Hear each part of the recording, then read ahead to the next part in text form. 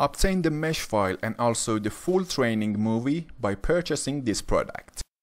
The present problem simulates the water flow inside a Francis water turbine. Water turbine is a turbomachinery that converts kinetic energy from water flow or potential energy from water height differences into rotational motion. Francis turbines are one of the types of water turbines that have the ability to use both kinetic and potential energy for power generation at the same time due to the location of their blades. In this type of turbine, water flows into the helical chamber because due to the uh, circular structure of the blades in order to improve the operational efficiency of the system, the flow of fluid colliding with the blade must be rotational. The water flow is then transferred to the turbine runner blades with a certain flow rate, and as a result, by rotating these blades by the water flow, the desired work is produced. Finally, the outflow of water from the turbine runner blades will be axial. In the present simulation, a flow of water with a flow rate of approximately 2 kg per second entered the inner chamber of the turbine. Frame motion is used to define the rotation of blade inside the chamber and to create the resulting rotational flow around the blade. In fact, it is assumed that the area of water flow around the blade has a rotational motion relative to the blades while the rotating blades have a rotational speed of zero relative to its rotating area. Therefore, for the area related to water flow around the blades, the frame motion technique with a rotational speed of 158 rpm has been used, and for the blade walls, a moving wall boundary condition with a zero rotational speed is defined.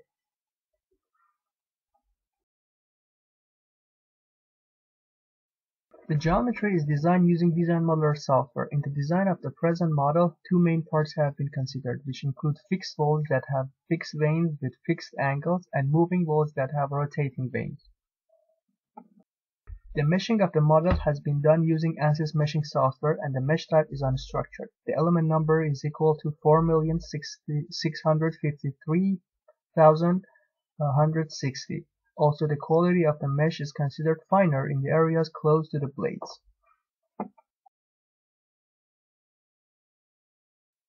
Uh, also by clicking on report quality, again in the console tab, the Fluent software will, uh, will give you the quality report for your mesh. For example, you can see the maximum aspect ratio of your mesh, uh, maximum orthogonal quality, and etc. By clicking on display button, a new window will appear which you can see different part, parts of your geometry. Now in the appear window, which shows you the names of the different parts of your geometry, you can click and select each part and then click on display uh, so that the software will show you that part. As was explained in uh, first slides, you can see that two zones of moving and solid zones are defined. Uh, by double clicking on the moving zone, uh, a new window will appear. In the appeared window, you can see that uh, the frame motion uh, is activated for this zone and you can see that the rotational velocity has been defined for this zone and uh, which is equal to 158 rpm. By clicking on Inlet Boundary, you can see that the type of this boundary is set to be Mass Flow Inlet. By clicking on Edit, a new window will appear which lets you uh, change the values and setting for this boundary. In this window, you can see that the water mass flow rate entering the computational domain is equal to this value. By clicking on the outlet boundary, you can see that the type of this boundary is defined to be pressure outlet. Again, by clicking on edit, you can see the settings for this boundary.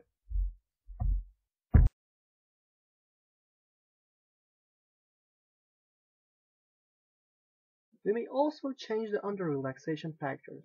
These factors may be between 0 and 1. Based on the simulation and the project we are doing, we may change these under relaxation factors. But remember that the values set in here are the recommended values for the pro project and we highly recommend you to not change these values.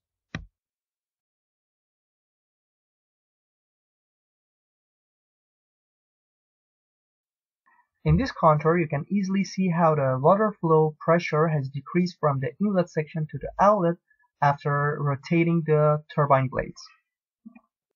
Now in order to see the streamlines, you just have to click on the streamline button and accept the appeared window. Again, on the low left side of the software window, uh, in front of the start from section, uh, you just have to select the inlet boundary uh, so that the software will uh, calculate the streamlines entering the computational domain from this boundary.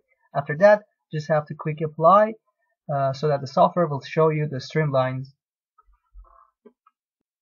In order to see the velocity vectors inside uh, the rotating zone and on the rotating blade, just have to click on the velocity vectors button and accept the appeared window. Uh, again, on the low left side of the software window, you just have to select the location, which in this stage would be the moving zone, and then click on apply.